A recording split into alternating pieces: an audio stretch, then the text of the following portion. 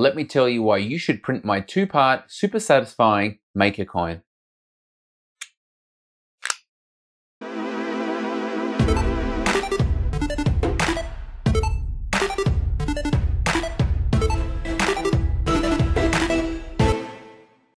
Ah, the Maker coin. It's become a symbol for the whole maker movement, especially 3D printing. A little while ago, when Angus from Makers Muse made a video encouraging people to make their own Maker coin, I decided I would add it to my list. I didn't want to do just any old Maker coin, however, I wanted to do something that would challenge me as a designer and challenge you as a 3D printer. That's why my Maker coin is actually only half a Maker coin. When one half is shown, it really doesn't look like a Maker coin at all, but if you print two of them and then put them together, it goes snugly with a satisfying click. I hope you agree this is an original approach and worth printing on your printer. Still not convinced? Let me give you a few more reasons to print this or any other maker coin. Firstly, maker coins are very small. That means they're ideal for using up small amounts of filament like those that you get in sample packs, and that means they print very quickly. On my Mark III, one half of this takes about 20 minutes, which means it's about 40 minutes for both halves. This is a hell of a lot shorter than a Benchy, and although it's not as useful as a torture test, it still has some challenging parts for you and your 3D printer. The first of those is a concave surface that faces down towards the printer bed. A normal maker coin has a flat bottom and a surface that slopes inwards on the top. This one only has a very small amount of contact area for adhesion with the bed, and then it has a fairly challenging overhang that will definitely test your printer's capabilities. Second reason is for tolerancing. This has been designed with a 0.1mm gap between the two halves, but the mating surfaces also have draft. Fortunately enough, my Mark III was accurate enough to get this thing fitting together first go, but on my Cocoon Create Touch, it's a little bit rougher and it doesn't quite go together without some tweaking. It'll be a nice project for me to refine my slicing profile and Simplify 3D until the two halves fit nicely together and sit nice and flush. Another perk of my design is the fact that it is only one half of a maker coin. This means you can do the two halves in different prints and different colors. What a great way to test how two colors go together for a bigger project. One other thing that Angus mentioned in his video that I really liked about Maker Coins is that you can use them to trade in the community. If you're meeting other 3D printers face to face at some sort of expo or meetup, bring some Maker Coins, trade them with people, and then you'll have something to remember the great people you've met by. I should also mention that this thing is hollow. There's just a little bit of space between the two halves, and that provides you with a place to hide something in a place that no one would ever expect. Anyway, that's enough talk about why you should print one of these. Let's look at how I did it. Here we have our finished maker coin and what a handsome beast it is. It's got our TT or teaching tech on the top. It's got the nice concave top surface and it's got the gear style around the outside with the nice fillets. But you'll notice here something strange is happening. You can see a seam that goes around the maker coin. So let's have a look at the part and then we'll retrace our steps and work out how it was designed. So here is the part that you print and in fact you print it facing this way and at this stage it looks nothing like a maker coin. And that's because it's designed to have two of these and they clip together and that's what makes the final coin. Let's explore how this was achieved. So here is our base sketch. At its most simple level, it's just like a normal maker coin. It's got this surface here, which I've tweaked over and over to make it more printable and I've ended up with an overhang of 61 degrees. It's got a nice radius on the outside I've got these sketches in place for later on, ready for the locking rings. And when we revolve it, it looks like this, somewhat like a normal maker coin. Next thing we have is our sketch, which when we view from above is for the cutouts of the coin. Then when we take that cut, add a fillet and pattern both of them around the outside, we end up with our classic maker coin shape.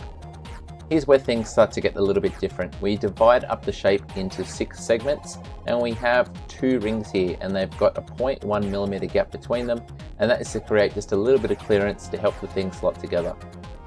From that sketch we have two extrudes. The first one cuts out these outside pieces and then the second one cuts out the center section to exactly halfway. If we switch back to our assembly view at this stage you can see that it's pretty close to fitting However, when you look from the sides, these walls are vertical, which means they're going to slide against each other and that's going to make it a lot, lot harder to get the two parts together and indeed to get them apart. So the next two steps was to apply draft and if you look from side on you'll notice this is on a very slight angle. Let's edit to come inside and see what it would look like without the draft. You can see if we slide our preview to the left, that's how it started. And that's how it finished. So 5 degrees draft there will really help the pieces slide against each other, but still be really snug at the end. Our next step was to import the Teaching Tech logo, and you can see I imported a DXF here, but there was some troubles with that, so I had to manually draw part of the shapes just to get it working how it should be. After that, we extrude it back towards this face, and we have our main graphics for the surface. You can see next in the feature tree was another two lots of draft, and that is on this here and this here. Both of them are angled 5 degrees once more, and that's just to allow the pieces to slot together as easily as possible later on. The next thing we have are the locking rings. So if you remember back in Sketch 1 we had two little circles here. This is the time that we apply them. So we revolve one of them around as a solid and add a fillet, and then the second one we revolve around as a hole and once again add a fillet. And we change the size of the circle and the fillets so this one on the outside is just a little bit bigger than the one on the inside to stop them binding up. Our final two features can't be seen until we switch to the underside, but basically we hollow out this section here. If we open up the extrude and look at the before and after, we can see that it's solid, and when it's done, it is hollow. That creates a cavity to store something, maybe some O-rings, I'm not sure, but it means it uses less plastic and it prints just that little bit faster because of it. So back to our assembly to have a look inside the finished part, and to do that we're going to turn on a section view if we zoom in here, we can see how the pieces meet. We've got this very slight gap of 0.1 millimeters, and you can see that the fillet on the inside is just a little bit smaller than the one on the outside, and that is to help the pieces mate without binding. And as you can see by my printed ones, this works really, really well.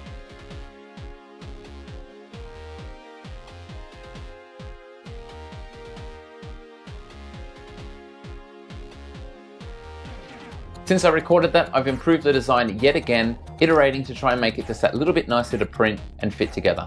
I think I'm up to about my 11th version now, and this one here is the first. It didn't have the 0.1 millimeter gap, which means you can push it together. It's nice and snug, but you won't get it apart without the use of pliers, or in my case, using my teeth. I strongly encourage you to follow the link in the description below to download and print my Maker coin. It'll give you a nice test for your printer settings, as well as a nice way to test out small amounts of filament. I also strongly encourage you to try designing and printing your own one. I had a lot of fun doing this one and challenging myself to come up with something innovative. Well that's going to do it for this video. Here's my Maker coin. I hope you download and print it. If you do, let me know in the comments. Looking forward, there's going to be a bunch more content coming up where I design something and provide it free of charge for you to download. I promise these projects are going to grab your attention and be really fun to print. Thanks for watching, and until next time, happy 3D printing. G'day, it's Michael again. If you like the video, then please click like. If you want to see more content like this in future, click subscribe and make sure you click on the bell to receive every notification. If you really want to support the channel and see exclusive content, become a patron. Visit my Patreon page. See you next time.